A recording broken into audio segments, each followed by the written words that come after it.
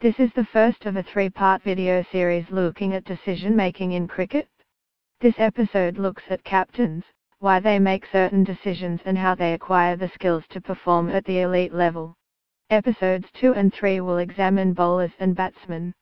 Australian captain Steve Smith and English captain Joe Root will walk out onto the Adelaide Oval tomorrow knowing that the choices they make could determine whether their team wins or loses the important second Ashes test. Winning a test match depends on more than just talent. The type of pitch, the weather, the ball, and even luck, all play an important role in influencing the result.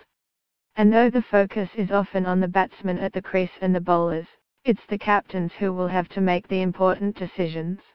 Especially when fielding, captains have to constantly evaluate and adapt their strategies depending on the stage of the game, how the pitch is playing, what the ball is doing, and how comfortable the batsmen look against their bowlers. But how do captains know when to rotate their bowlers or which field to set? The conversation asked Jonathan Connor, a coaching specialist in skills acquisition with Cricket Australia, to help explain some of the intricacies of this unique game, and the factors that captains rely on to make good decisions.